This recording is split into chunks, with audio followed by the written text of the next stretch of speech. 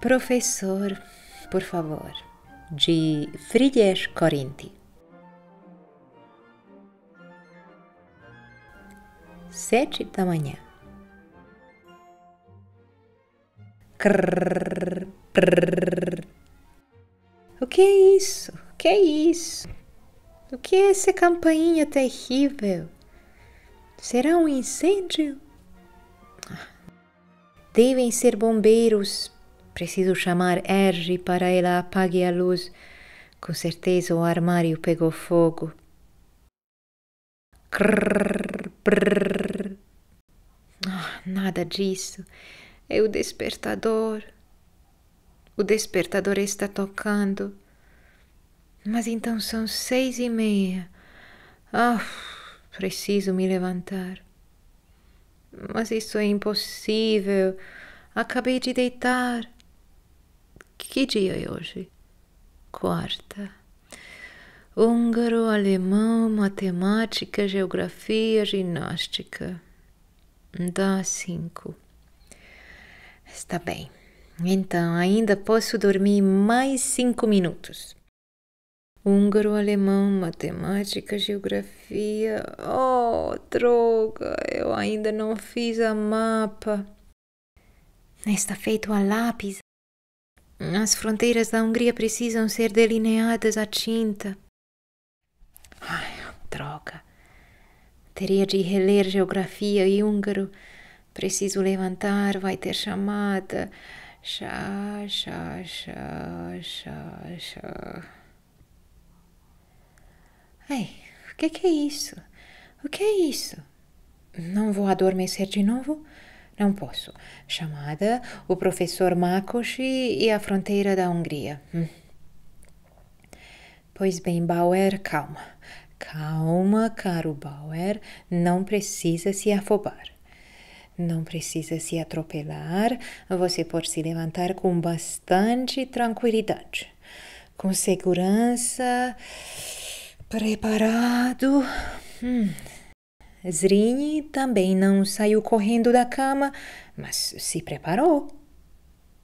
Ah, por favor, professor, eu me preparei. Ah, hum, não há nenhuma razão para a gente logo pôr os pés para fora do cobertor nesse frio. Hum, claro, a meia é importante quando a gente quer se levantar, hum, mas com cuidado, caro Bauer, com cuidado.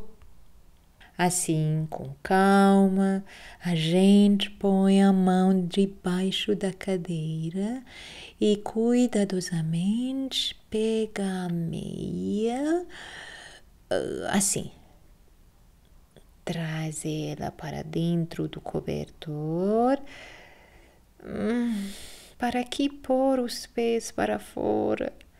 Ridículo. Podemos vestir a meia debaixo do cobertor. Viu? Ah, droga, pelo lado o frio entra. Capitão, capitão, a cama está furado. Capitão Nemo, ela logo vai afundar. Precisa ser tapada. Ai, que bom.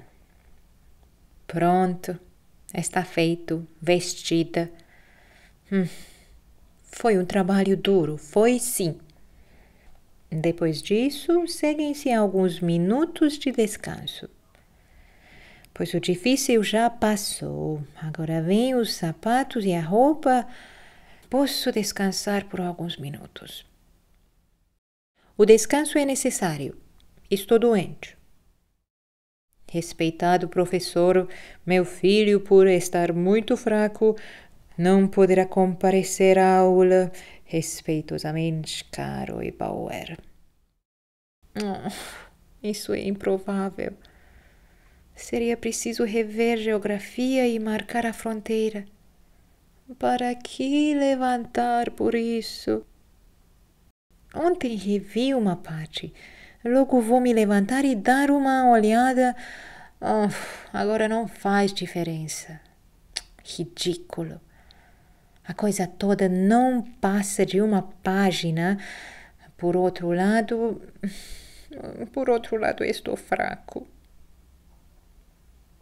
Não só vou rever a matéria, mas vou repetir aqui na cama, de cor, o que li ontem. Porque eu não estou deitada por preguiça, professor, mas para repassar geografia em voz baixa. Tenho uma razão urgente e inadiável para ficar deitado. Preciso resolver logo. Essa coisa de ficar deitado? Hum. Porque já devem ser sete horas. Pois então, ao sul a Noruega faz fronteira com a Dinamarca, a oeste o Mar Báltico e a capital da Dinamarca e a capital da Dinamarca e a Dinamarca da capital. Bem, começo de novo. Ai, Bauer, seu infeliz, por favor, professor, eu me preparei. Sabia, mas esqueci. Não enrole, Bauer. O senhor tem de responder porque de Dinamarca o senhor está com quatro e a conferência preventiva já começou. Cale a boca, Bauer. De fato, a conferência preventiva já começou na fronteira da Dinamarca. Hum. Estão esperando apenas o general e em seguida a batalha vai começar. Pois qual é a capital dos Países Baixos?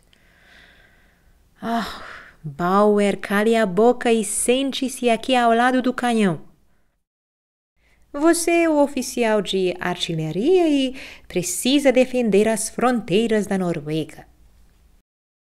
Tá bem, se preciso defendê-las, quero que me dê mil cowboys corajosos, experimentados, cada um deles com uma filmadora. Eu vou lhes mostrar. Avante, avante, rapazes! Para o combate! Tem um cavalo para o Bauer. Agora nossos combatentes já estão na Dinamarca. Eu acho, senhor diretor, que vai ser mesmo o Bauer que vai defender as fronteiras da Noruega. Ele está mal de matemática, é verdade, mas ele é capaz de fazer cem barras e é disso que um general precisa. Então, Bauer, adiante, meu querido. Invada a Dinamarca. Assim você ainda poderá consertar a sua nota 4. Está bem, não faz mal, professor. O meu uniforme de comandante está adequado? Sigam-me, rapazes, sigam-me, rapazes. O senhor professor Makoshi o senhor vai ser o meu ajudante de ordens. Mas cuidado com os meus comandos. E cale a boca. Pois bem, suba aqui atrás no meu cavalo e agarre se vier uma bala. O senhor vai ver só. Não retruque, professor. Professor, o senhor não se preparou? Hum.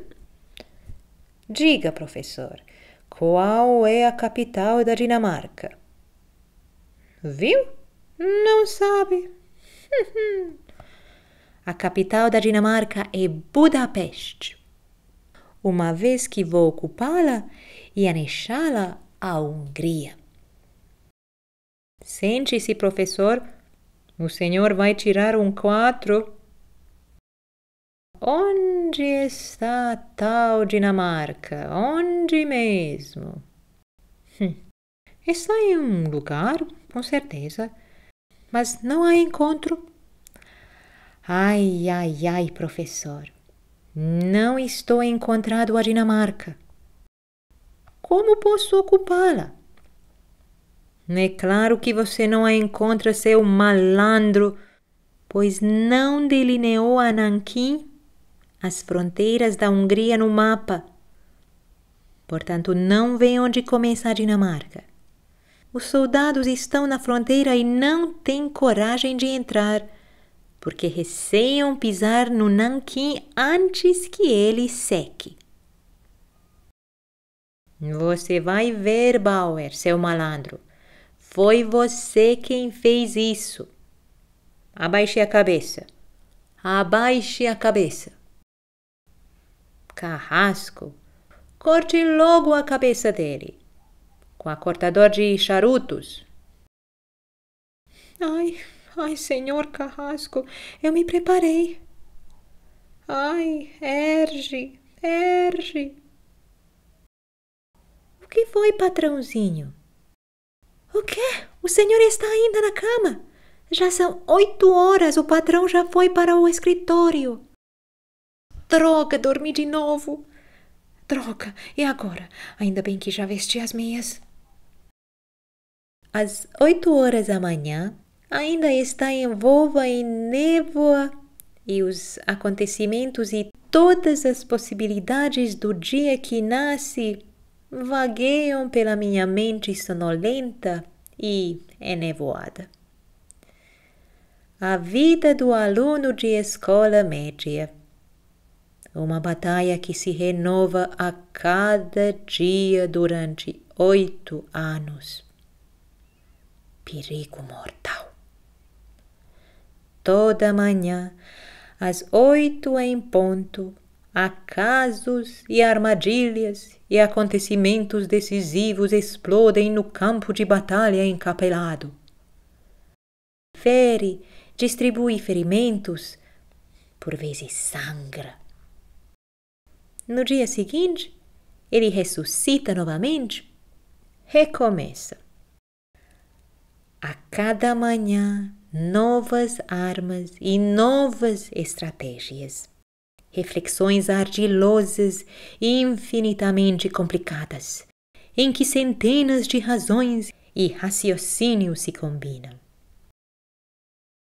As armas de hoje são frágeis, por essa razão tenho de escolhê-las com cuidado. A primeira aula é de matemática. Estamos nas equações irracionais, mas na aula passada não terminamos a matéria. A probabilidade de uma chamada oral é de 25 a 27%. Ah, nesse percentual pequeno há circunstâncias que desempenham um papel importante. Muitos ainda não fizeram as correções e Fröhlich não tem um caráter confiável, homem instável e de vontade fraca que, hum, momentos antes talvez acreditasse que no ano seguinte continuaria ensinando e que agora de súbito, meio sem consciência, vai iniciar a chamada oral. Uh nas profundezas da alma humana, existem fenômenos assim patológicos com que temos de contar. Às quarta-feiras, Deus meu, depois da aula de matemática, duas horas de geometria. Estou sem meu nanquim e sem minha régua torta tanto que hoje, hum, na verdade, vou ser advertido. Gutmann me prometeu uma borracha que eu vou cobrar. As joias literárias de Vörösmarty. Bem, sim, as joias literárias de Vörösmarty, eu sei, eu sei, onde a matéria vai ser essa. Por ora, revi apenas a metade mas há dois intervalos de 10 minutos antes da aula de húngaro, o que dá 20 minutos, e agora até chegar à escola eu rumino a primeira parte. Ganho 15 minutos, tempo em que devoro as joias literárias de Vereshmarty.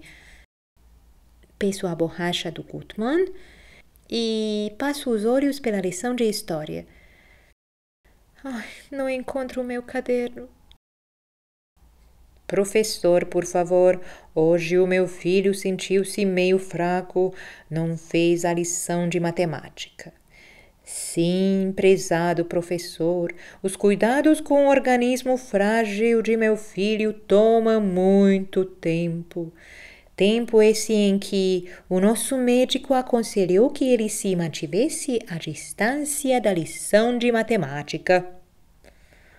Oh, bem, isso tudo não é nada. Não passam de sonhos, devaneios irrealizáveis.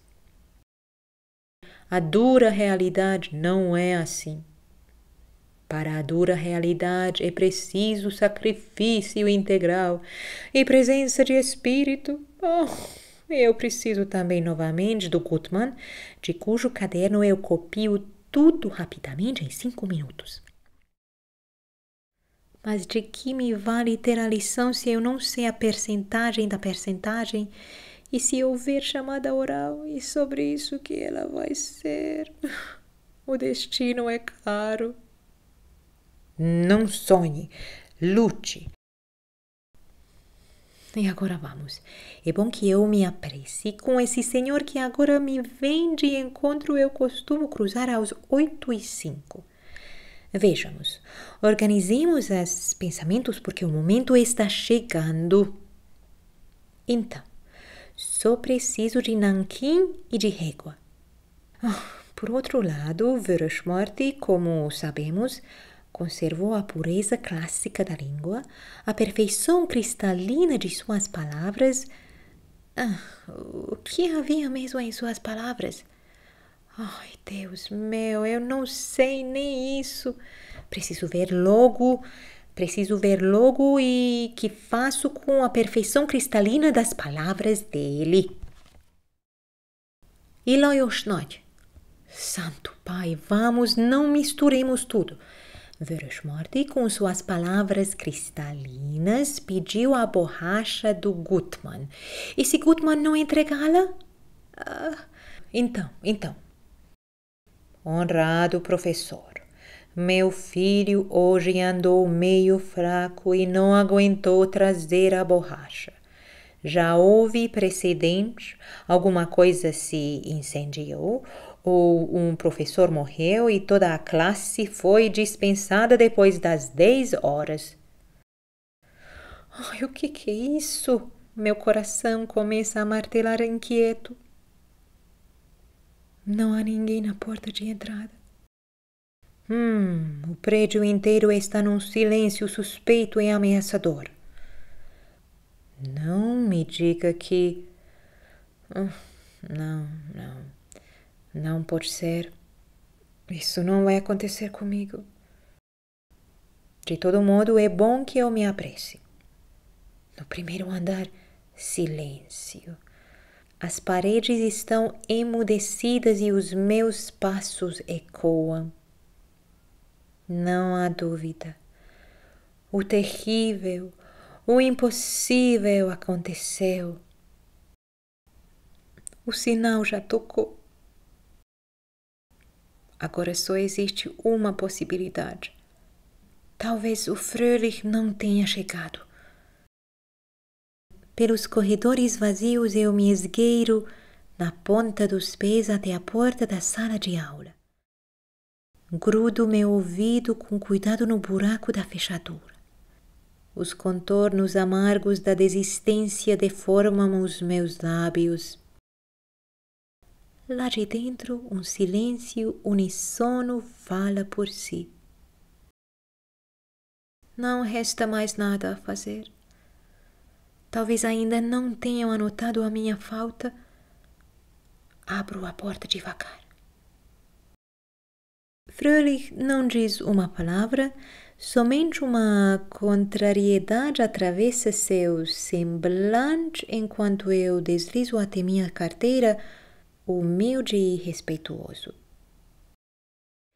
o murmúrio silencioso de horror percorre a classe. Fröhlich saca o relógio com vagar e o examina. Enfio os meus livros na gaveta. Büchner, sentado ao meu lado, se inclina na direção do quadro negro. Em seu rosto exibe o ardor da sede profunda e insaciável dedicada às ciências matemáticas. Somente eu percebo que a sua boca se deforma um pouco para a esquerda em minha direção e por entre seus dentes somente eu ouço o sussurro. Já notaram a sua falta? Entorno a minha boca para a direita, escorrego para a frente, em meu rosto se instala o interesse impossível de ser sufocado pelo conjunto das ciências matemáticas. Sussurro entre dentes. Prosseguimos com a matéria. Büchner sussurra. Não, chamada oral.